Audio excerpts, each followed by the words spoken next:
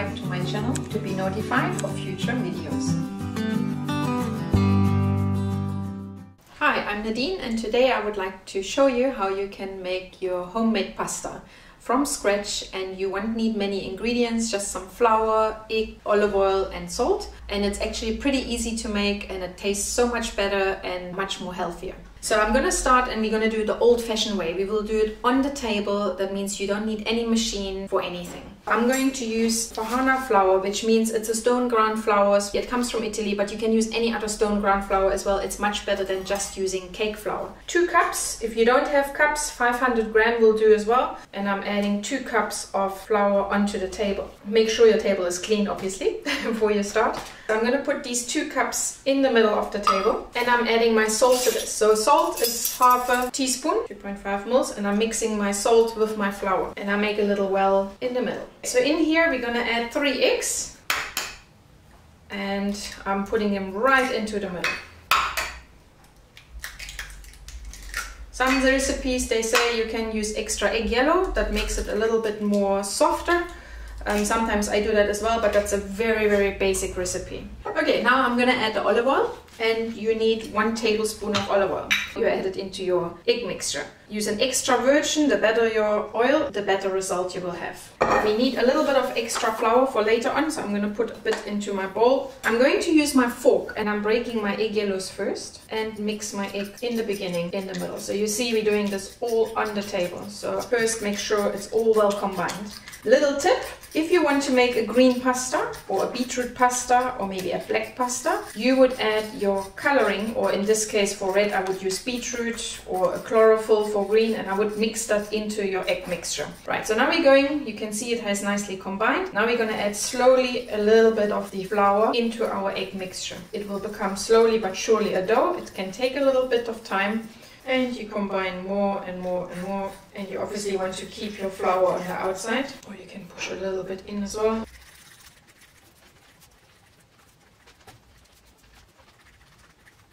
Once it starts to become thicker then we can get rid of our fork and we use our hands. I prefer to do it longer with the fork, it just makes it easier with kneading at a later stage. Before you touch your mixture, make sure your hand is full of flour. This will make sure that your mixture is not going to stick as much on your hands. And now I'm going to start kneading it. When you knead something with your hands, you're kneading with the palm of your hands and not with your fingertips. So you're pushing it away and you roll it towards you. So we want to incorporate as much flour as we have on the table.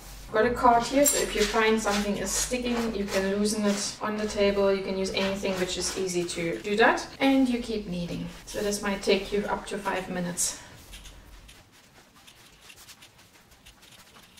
Almost everything in. So I would not do a double amount if I do it by hand and I would rather start over again.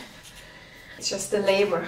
It's uh, quite intense, so they call it making pasta or ravioli is the labor of love. What you can do as well, you can finish your pasta dough and pack it in some plastic wrap and in some tinfoil. The tinfoil will protect that the pasta doesn't get dark because it protects from oxygen and you can freeze it. And whenever you feel like you want to make pasta, take your dough out and you can work it from there. Okay, so I'm almost there with my five minutes kneading and you can see my dough becomes nice and elastic. So this is what you want. And you have to let your pasta now for 20 minutes up to an hour to rest before you can actually start working it. So a lot of people always leave their pasta in a bowl or pastry. I quite don't like to do that because I don't have the strength to roll it out. So I'm trying to make it as flat as I can. Wrap it in some plastic wrap then and then I will put it into the fridge, let it rest in the fridge. So it feels very dry but if you leave it in the fridge it will keep it moist and it will be nice elastic to roll it out. My plastic wrap so you want it really tight and you wrap it nice and tight around it.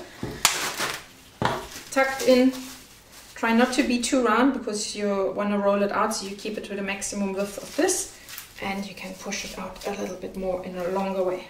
Okay, so this goes in the fridge for another half an hour now. My pastato has now been sitting in the fridge for an hour. So now as you can see already, it's getting nice and elastic. So we can unwrap this and we use a pasta machine to roll it out. So we're gonna add a bit of flour onto the table first. Take our dough out. If you find it's too difficult for you to use a big piece, you can cut it into half a little bit of dusting on top and use a rolling pin best a rolling pin which is a bit more heavy. I use marble but anyone will do. And you roll this out a little bit lengthways. So you don't want to go from the width more than what your pasta machine is. I think might be easier just with the half might become a little bit too thick on the sides so I'm gonna fold this over again. If you fold it, just make sure you take all the flour away and fold it over. So now we can make it nice and straight again. So if you don't have a pasta machine, you can roll this out by hand, but it's very hard labor. So maybe next Christmas, your boyfriend, husband, wife, whatever wants to give you something nice, they can buy you a nice uh, pasta machine. You can buy one which you can put on and uh, do it electric, or you can use a hand one. Okay, so I have rolled it out. I put it onto the widest setting. Some they start by number six, some by nine, some by one. This one works with one, and I'm starting to roll it out. Okay, so if it gets longer, it's more difficult. So number one, you always want to do two times or your biggest setting. So you see I'm holding it now with my right hand side and I'm rolling it with my left hand. If you feel your dough becomes too sticky, add a little bit more flour on both sides and you go to the next setting. What you can do after halfway, you switch. Okay, so you do that until it becomes almost see-through.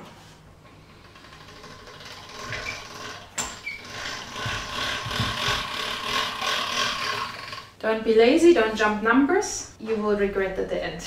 And always make sure when you feed it in, you go straight in. Another tip, I didn't add any pepper, not because I don't like the pepper inside, if you have peppercorns, they can destroy the pasta. So that's why you don't add any pepper, so you keep it just with the salt. And you see it becomes longer and longer. So you get quite a bit out. So make sure it's straight in. When you get to the last number, you do the last number two times. So you can see when I touch it now, I don't want to hold it with my fingertips like this. So I'm actually holding it with my backhand.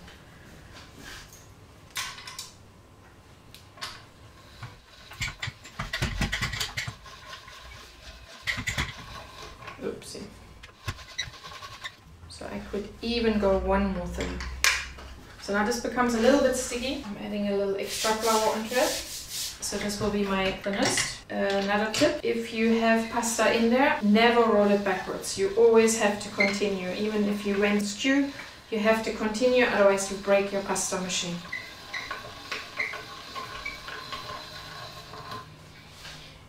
So this pasta machine has now rolled my dough nice and thin and now I need to cut. I'm gonna cut it now into strips this length, maybe 15 to 20 centimeters. Put an extra flour on and let it dry. Don't let them stick on top of each other. Put them loose, otherwise you're gonna have a bad surprise that they will stick. And now I'm just dusting them.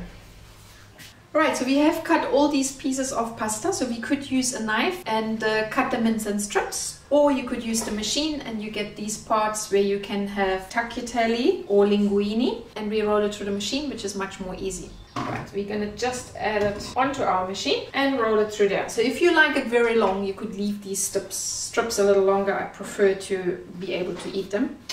And now it's like magic. Hold one hand underneath here and collect them.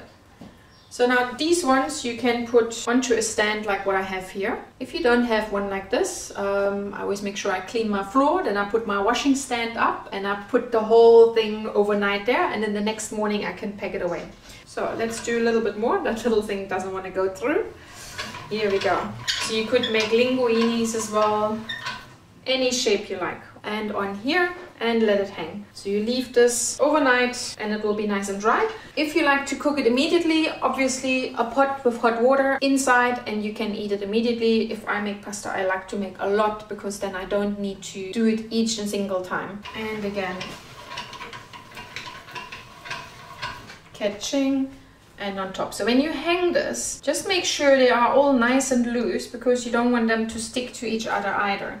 So you could even add a little bit more flour on, I think like this, they, they hang pretty cool. You can see this pasta gives you a lot. When you cook this homemade pasta, it cooks in less than five minutes and it will give you almost triple the amount Okay, so I'm going to leave this to dry overnight and then tomorrow I can take it off the stand and leave it in my container. The best is to leave it in your kitchen. You don't want any moist air, but you don't have to be particular that it has to be extremely dry. I just make sure my kitchen is clean and I leave it overnight just in the kitchen. That's perfect. If you have a pasta machine and you need to dry it or clean it afterwards, do not ever put this into the water. You just want to use a dry cloth. Wipe it off because that will protect it. It doesn't become any leftover flowers inside to become a lump or anything. You only wipe it off. That's the way how you clean a pasta machine. So even if you just use this part here, you just wipe it with a cloth. Alright, so overnight you can let them dry and then you have something like this now. You can keep them in the container and they will last you for a few weeks or if even longer in my house they last maybe two weeks, that's it. So to take them off, you gently hold them. If they do break when you take them off, that's no problem, but very gentle, put them into the container. Thank you very much for watching this video. I hope you're gonna have a lot of fun making this pasta, or in this case tagliatelle, little uh, say as well, Italians, uh, means uh, little tongue. And uh, when you cook it, just throw it into hot boiling water and cook it al dente means uh, cooked to the teeth. Uh, I explained it in one of my other videos, mac and cheese, so that's where you can uh, pick up how you can cook pasta. Have fun, thank you for watching.